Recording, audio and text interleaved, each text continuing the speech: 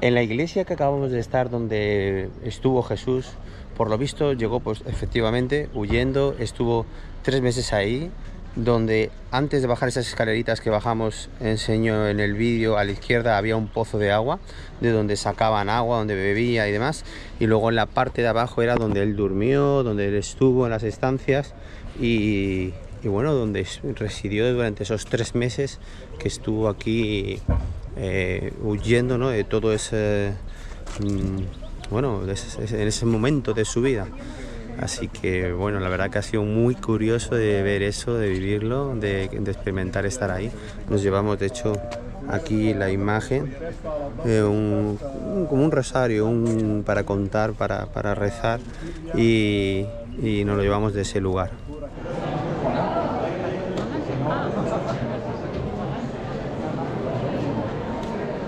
O entras y te enteras directamente que la iglesia no es una iglesia católica Ah, muchas cosas que por lo menos uh, está el altar cerrado. Ah, porque en tu iglesia tú puedes ver al cura rezando estando tú aquí fuera del altar.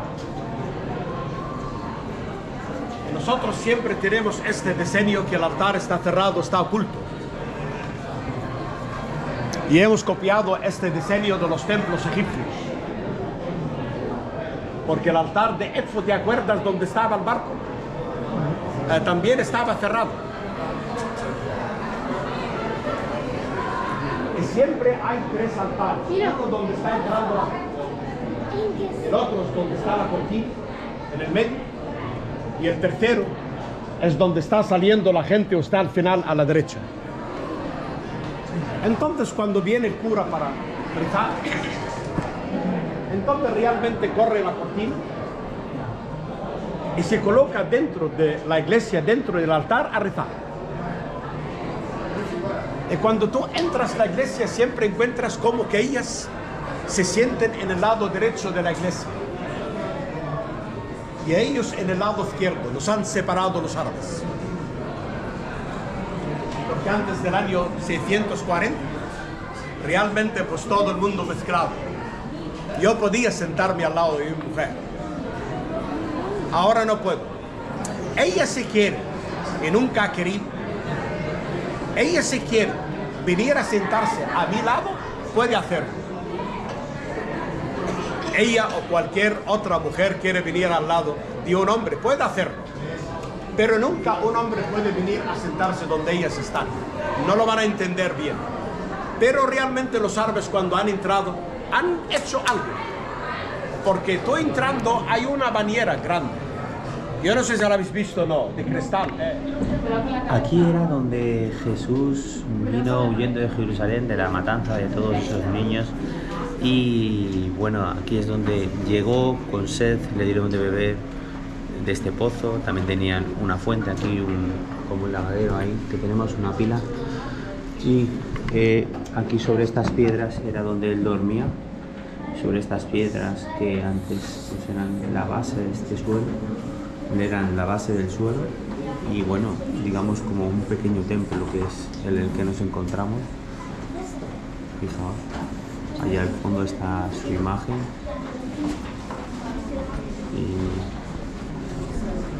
Y, ahí tiene, y allí tenemos el pozo de donde sacaban el agua.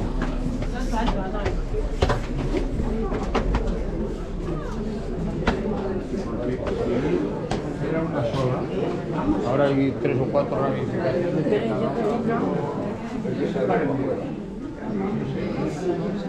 Aquí tenemos una tienda, aquí estamos en la tiendecita de la iglesia. Fijaos.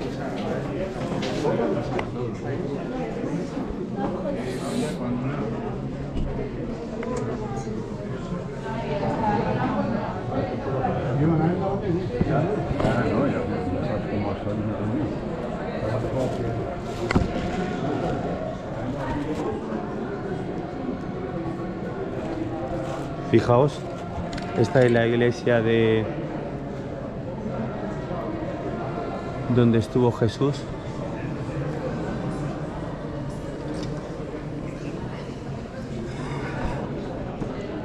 Wow, increíble, increíble que Jesús llegara aquí huyendo, donde le ayudaron, donde le dieron de beber, donde estuvo, donde se refugió aquí.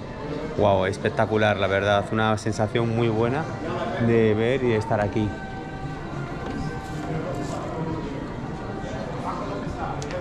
Increíble, increíble chicos.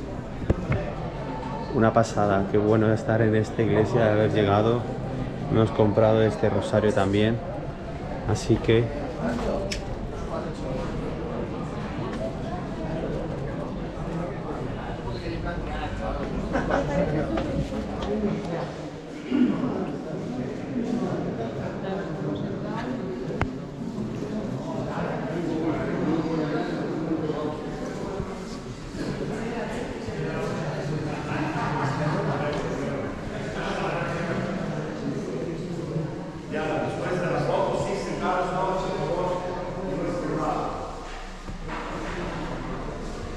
Esta es, esta, esta es la sinagoga donde estamos ahora mismo. Nos encontramos en la sinagoga que está justo al ladito de la iglesia, el lugar donde estuvo Jesús. Y entiendo que evidentemente él aquí claro que venía.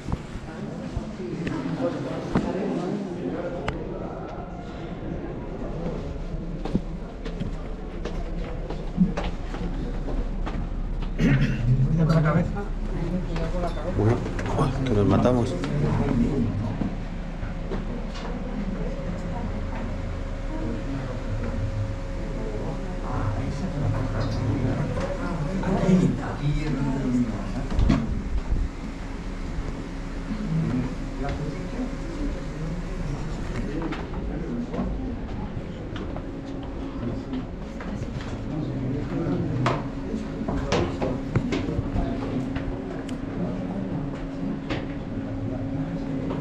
Estamos donde Jesús vino Cristo, donde se refugió, donde en el pozo bebió agua, donde durmió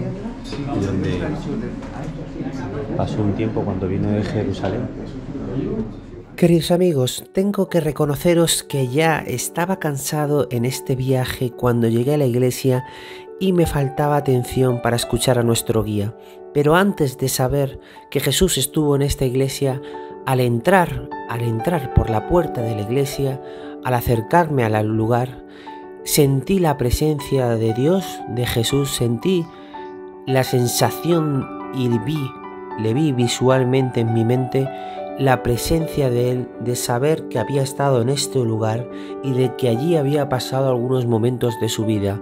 Curiosamente, después me enteré de que este lugar había sido elegido por Jesús para refugiarse de esa persecución, de esa persecución que le mantenían en su vida. Suscribiros amigos.